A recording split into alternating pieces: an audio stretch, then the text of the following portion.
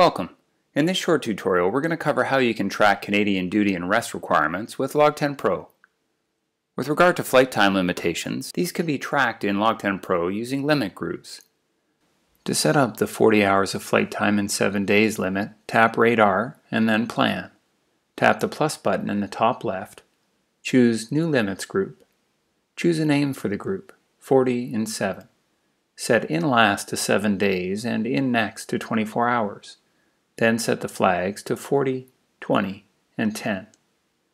Then tap Configure and set Category to Time, Key to Total Time, Operator to less than or equal to, and set the value to 40. Done. For 120 hours and 30 consecutive days, duplicate the 7-day limit by tapping the group, then Edit, then the Action button on the top right, then hit Duplicate. Rename the group 120 in 30 and then change in last to 30 days. Set the flags to appropriate levels, and then set the value in the total time criteria to 120.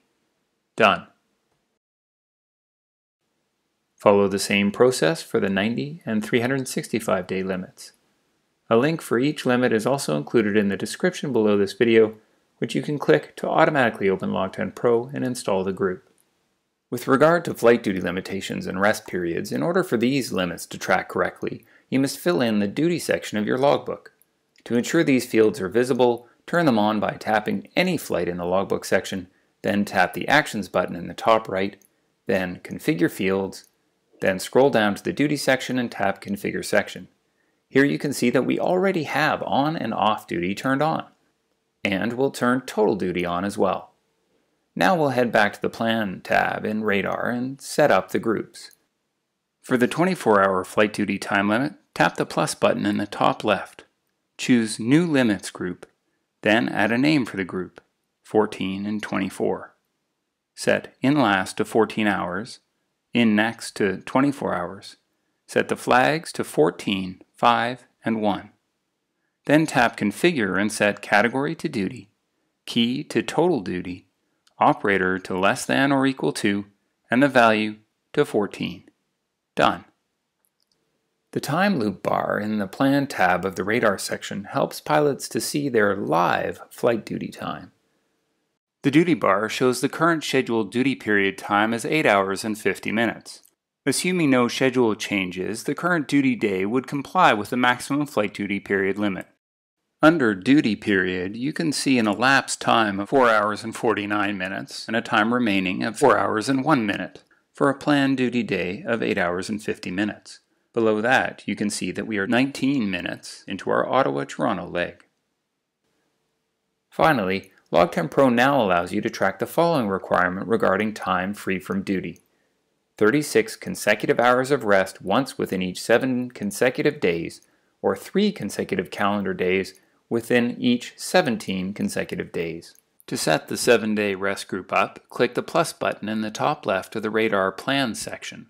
Then choose New Currency Group.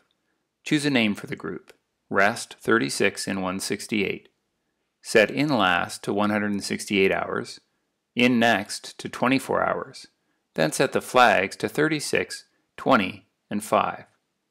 Then tap Configure and choose Category Duty key consecutive rest, operator greater than or equal to, and set the value to 36. Done.